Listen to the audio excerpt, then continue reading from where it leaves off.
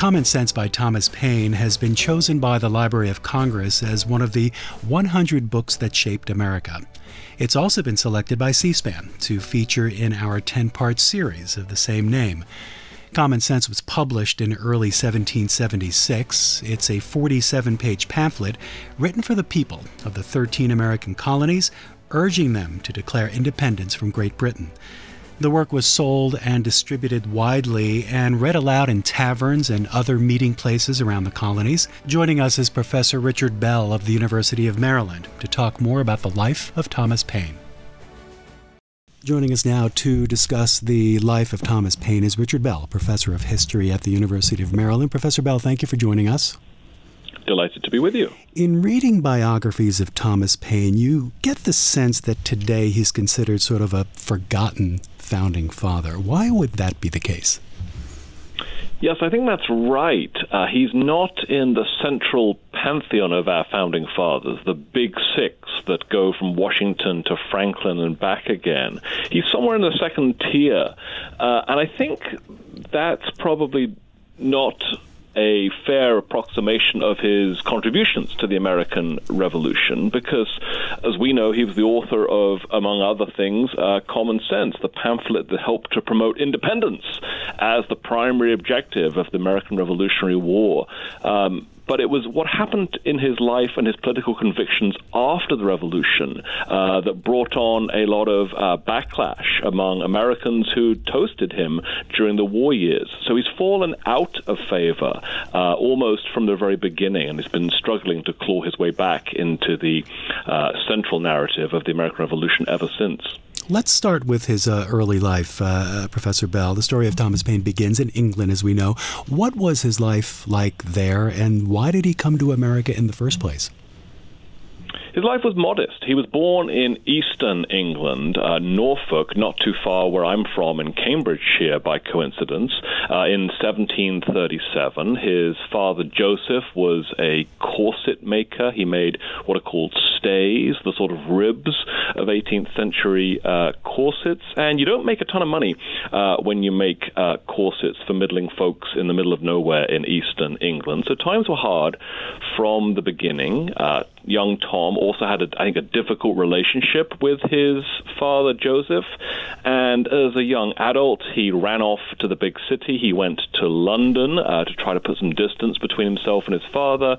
And he tried all sorts of ways to establish himself in and around London. Um, he uh, briefly experimented with corset making himself. He briefly became uh, a teacher. He was a tax collector, an excise man uh, for several uh, years, and he also briefly went to sea as a sailor. And the fact that he's trying all these different career paths is an indication that none of them went terribly well. And you could say the same about his personal life as well. He was married twice while he lived uh, in England. His first wife sadly died in childbirth, um, and his second wife, uh, they separated, an early form of divorce in the 1770s. So by about 1774, uh, Tom Paine was living on the south coast of England and didn't have much to show for himself personally or professionally. He had increasingly antagonistic relationship with authority, whether that was his own father or whether it was his employer, the uh, British government, who he felt as a tax collector was treating him very, very poorly indeed. So when he ran into Benjamin uh, Franklin, who was uh, living in Britain at the time as the chief lobbyist for many of the American colonies, um, Franklin uh, gave him advice to start over in America. And this was advice that a young Tom Paine was only too happy to take. Franklin gave him a very short, generic letter of recommendation, uh, and he put that in his pocket, and he got on a ship for uh, Philadelphia, uh, leaving in 1774. Had Thomas Paine been active at all politically in England, and did he write much? It's a great question, and the answer is yes. Uh, so we're learning more and more about Tom Paine's career uh, as a writer. Some of that occurred in London, but much of it occurred when he was living on the south coast of England in a town called Lewes, uh, which, uh, believe it or not, had a reputation for political radicalism. It still does today, uh, by the way. And so he fell in with a group of other uh, headstrong young men with political opinions, and they formed a sort of debating uh, society. They called themselves the Headstrong Club, uh, and they would debate political issues of the day. Many of them would write um, uh, what we, we what we think of today as op-eds in local uh, newspapers about political issues, expressing their points of view, sort of crafting their political profiles and consciousness. Young Paine did some of that, though how much he did is hard to know because they all used pen names. And so knowing who the actual author of uh, a piece signed uh, under a pseudonym is sometimes hard. But computer technology, um, AI, etc., is helping us to better understand how certain writing styles indicate authorship these days. So we're pretty sure that Paine was the author of a bunch of um, pen named pseudonymous uh, political pieces while he was in England, all of which, many of which I should say, had a strongly anti authoritarian, um, anti monarchical bent to them, which of course is foreshadowing of the ideology he'll espouse in Common Sense when he gets to America. So Thomas Paine arrives in Philadelphia. It's late 1774. How did he begin to establish himself in the city, and, and, and with what kind of work, and how did all of that prepare him for, for the future? Yeah, so the first thing to know is that he arrived sick as a dog. I think he contracted uh, typhoid on the long Atlantic uh, crossing, which sadly was not uncommon. Uh, and he took fully six months to recover his health when he got to Philadelphia. And he did not know a soul, as far as we know. You know, many people who made that voyage were going uh, in what we'd now think of as chain migration to follow uncles and aunts or children or parents who'd already made that journey. That's not true for Paine. Uh, he's going on his own, and so he knows no one. Uh, he only has this little generic short letter of recommendation in his pocket from Ben Franklin, the sort that Franklin passed out to pretty much any Londoner he met on the street. Uh, and then filled in their name and handed it over. But he uses that uh, connection to Franklin along with his budding skills as a journalist and political commentator um, to begin scribbling a few column inches for a local paper in Philadelphia and then further leverages his Franklin connection to get himself a job editing a new gentleman's literary uh, magazine that was just getting up and running there, and they were looking for an experienced London journalist. And Paine claimed that he was an experienced London journalist, which is a bit of a stretch or an exaggeration, but fake it till you make it, as they say. right. So he begins editing this uh, uh, literary journal. It's called the Pennsylvania Magazine.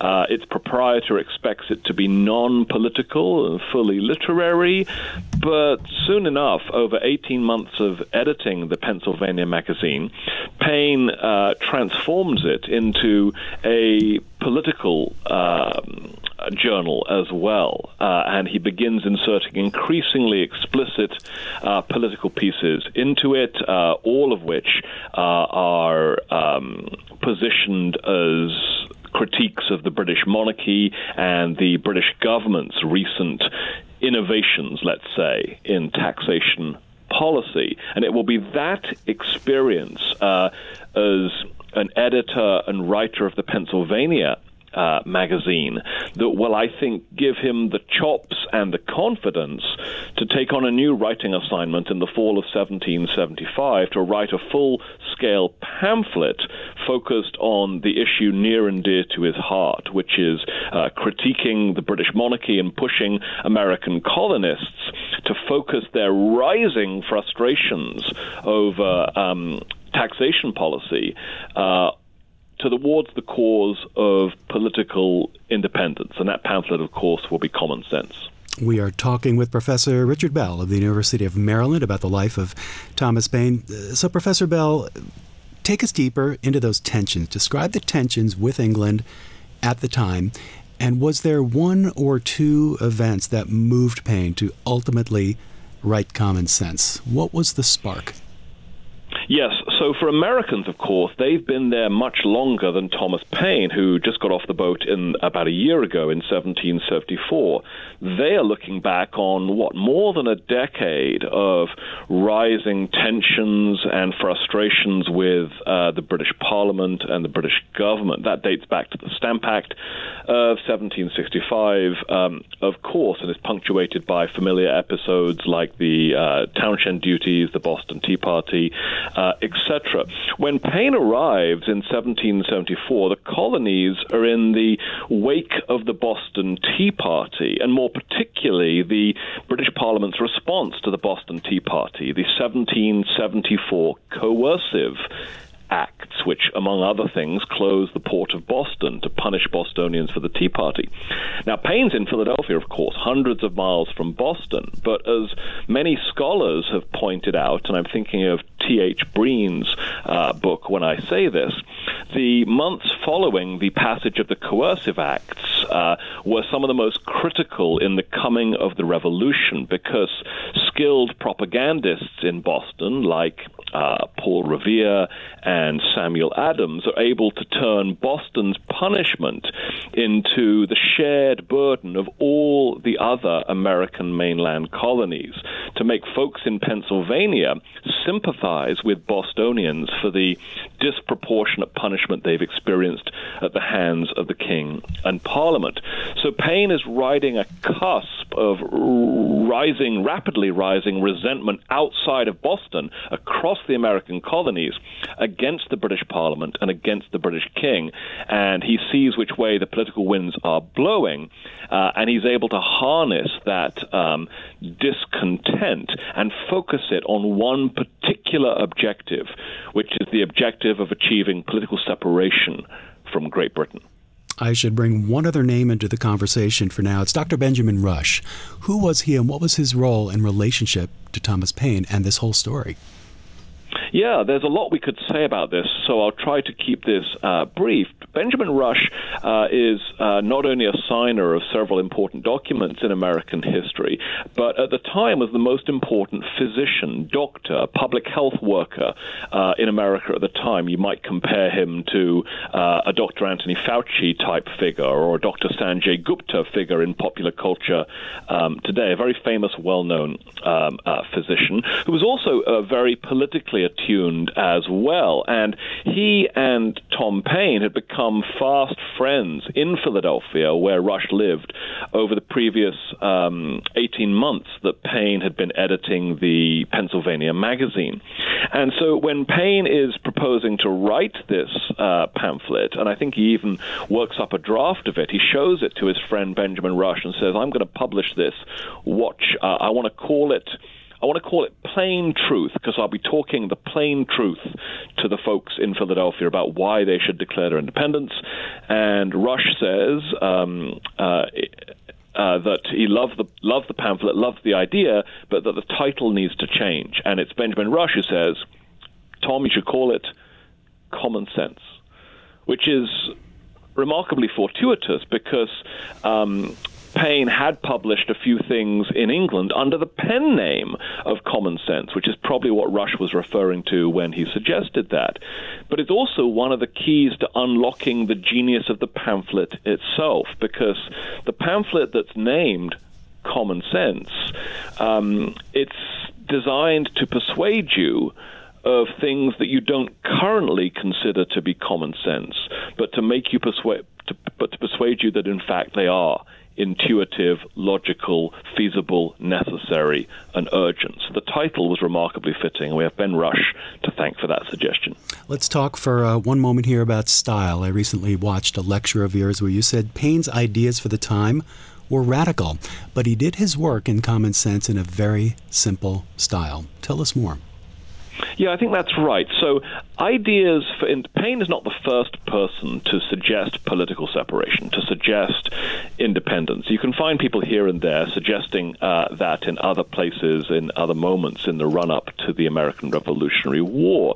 Um, but Paine is, says it much more loudly, first of all, than everyone else, uh, and much uh, more cleverly in ways that appeal to ordinary working people, not just, you know, highfalutin natural philosophers and political scientists. Paine's genius, I think, comes from, first of all, his remarkably plain spoken language. You can pick up common sense today uh, and find that it speaks to you in a language that all of us today find to be readable, accessible, and potent and pungent. So uh, his um, directness is particularly radical in that sense. What's also radical is his sense of uh, immediacy. He's not willing to debate whether independence uh, is uh, is the right course forward. He's willing to insist that it is, in fact, the only course forward. Um, this is at a time in the run up to the Revolutionary War when, of course, no one can see the future, and many people are saying uh, that reconciliation with Great Britain should be the objective of all future political negotiations. That we'd like Britain to address some of our grievances, and if and when they do, we'll go back to being loyal colonial subjects. Paine refuses to accept that course of events and says that now is the moment for immediate political uh, uh, separation because these problems that the colonists are facing are only going to amplify and replicate and come back and bite us uh, again, even if we settle them now, and that political separation is the only way to achieve a permanent end or break with this long history of British abuses, as he sees it, of the American people. And he's also finally able to focus much of these grievances not on some nebulous thing called Britain or the British government or Parliament, but he's able to lay the blame for this train of abuses stretching back more than a decade at the feet of just one individual. And that individual, of course, is King George III. So his great genius, a genius that Thomas Jefferson will emulate in the Declaration of Independence, uh, is to personify the enemy, uh, to give readers someone to hate. Did Paine fight in the Revolutionary War? Uh, he did in a couple of senses. Uh, the first sense, of course, is that um, when the delegates were meeting in Philadelphia in the spring of 1776, about four or five months after Common Sense was published in January, uh, Paine was moving, traveling with the Continental Army uh, as uh, a soldier in Washington's army, as the Continental Army moved, I think, um, east from Philadelphia on its way towards New York. York, hoping to unseat the uh, British Army uh, that was making gains there. That was a pretty disastrous campaign for the Continental Army, unfortunately, and they were driven back uh, back to Philadelphia almost with their, their tail between their legs. And that would be the moment, by the way, that Paine, who was present at that advance and at that retreat, would write the American Crisis uh, essays, the ones that famously begin, These are the times that try men's souls. So he's on the ground as a soldier at that moment, though his career as a soldier is very short lived. It's a matter of uh, months, really, in the big scheme of things, and he'll go on to do um, uh, other things to support the American Revolution. I think the American Crisis Essays is his way of fighting the revolution. Common Sense is his first contribution to that fight. The American Crisis Essays, which are rem- remarkably popular with American soldiers and help to boost civilian morale during this dark early campaign of the war. That's his second contribution to fighting the war. And Paine was always a much better writer than he ever was as a soldier. Thomas Paine lived a good number of years after the Revolutionary War. Let's transition, uh, Richard Bell, to what happened to Paine after the war was over. Many things happened to Tom Paine after the war is over, so I can only sketch out the highlights or lowlights uh, here. Uh, Paine will bounce around. Ironically enough, he will end up back in England uh, in 1787, and he will there write what we might think of as a sequel to Common Sense. It's called uh, The Rights of Man, and uh, one of its goals is to stir in England the same sort of working class political revolution that he'd helped to stir in America with common sense. Uh, that makes him a lot of very important political enemies in England. Um, the Prime Minister reads the Rights of Man and um, uh, essentially, you know, sends out soldiers to uh, to round up and arrest uh, Thomas Paine. He will be tried for seditious libel. Um, uh, in England, and that trial will force him to flee to France, which is in the throes of the rapidly accelerating French Revolution. By that time, uh, he'll be elected to the French Revolutionary Parliament representing Calais, despite not actually speaking French, uh, and he'll have a front row seat to the French Revolution as it becomes increasingly terrifying and violent, uh, crossing a line, the shedding of blood that Tom Paine uh, finds is too far, is too much. He'll write a defense of. Um, uh, he'll write a critique of the uh, bloodshed of the French Revolution in the early 1790s. That's his third great masterwork It's called The Age of Reason. And in The Age of Reason, he'll also take on many religious topics, which will make him many enemies among uh, people of faith in England and back in the United uh, States. And he came back to the United States at uh, some point. How did he live out his final years? Uh, in a degree of despair and ignominy. By the time he arrived back in the United States in the early 1800s, um, the nation he'd helped to create had become much more conservative than when he'd left America decades uh, earlier, and also much more religious as well. And his unorthodox religious views uh, therefore meant that he was out of step with the religious mainstream. Uh, he was also out of step with the political uh, mainstream, and his ideas about egalitarianism and democracy uh, were not always welcome in every quarter. So he found it very hard to um, cultivate a public profile that was not at odds with those in power. And he existed on the fringes of American politics, a sort of a metaphorical flame, bomb thrower or flamethrower. Uh, his health deteriorated rapidly upon his return to the United uh, States, and he became increasingly uh, isolated and discredited by his political enemies. When he died in, I think, 1809, um, there was a brief memorial service uh, for him, uh, a funeral, if you will. Uh, as far as we know, fewer than 12 people attended, and no political leaders attended that funeral service, which is doubly ironic given that Tom Paine is one of the founders of the independent United States. I have read that Thomas Paine uh, could be considered well ahead of his time in some other areas of his thinking, especially in social reforms. I think I read something about universal income, many of the ideas that we're actually talking about today. Is that the case?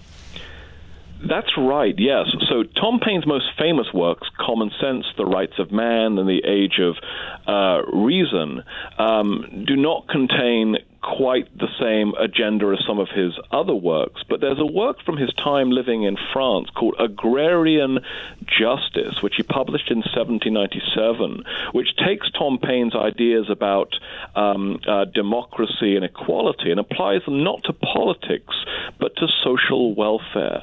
And in Agrarian um, Justice in 1797, Paine lays out um, how to end poverty in the United States or Britain or any other Western democracy.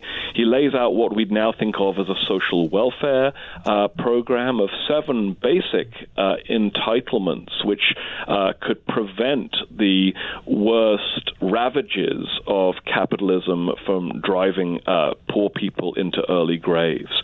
So he's thinking here um, about a universal basic uh, income. He's thinking uh, about a job finding program subsidized by the government. He's thinking um, about a f- small um, funeral benefit uh, if your spouse dies and you can't afford to pay for their burial. He's thinking about a, a basic pension, for instance. Many of these ideas um, were dismissed as fantasy in the 1790s, but in the 20th century, in the 1930s, 1940s, and 1950s, we see many of those exact ideas being taken up by New Deal uh, reformers in the U.S. and their uh, analogs in Britain and France as they create the modern uh, welfare state. So, in that sense, you could certainly say that Paine was centuries ahead of his time. And finally, Dr. Bell, what do you see as the legacy of Thomas Paine in American history? So that's a fantastic question. Uh, Tom Paine is an important driver um, of independence as the political objective of the American Revolutionary War, that not reconciliation, not redress of grievances, but political separation and independent nationhood. But also, Tom Paine is a voice of conscience. Tom Paine is also hoping that whatever new system of government emerges once political separation is achieved, he's hoping that that system of government will be transparent and accountable and democratic and inclusive. And that is the message he'll continue to beat for the next 30 years, both in the United States, in Britain, and in France, even as it costs him more and more uh, political uh, friends and makes him deeply unpopular. But that commitment to democracy is something I think we should continue to uh, cherish. Richard Bell is a professor of history at the University of Maryland. Thank you very much for talking to us about the life of Thomas Paine. You're very welcome. Thank you. Thanks for listening to the Books That Shaped America podcast. For more information about the series, you can visit our website, cspan.org slash books that shaped America. And remember to follow this podcast so you never miss an episode.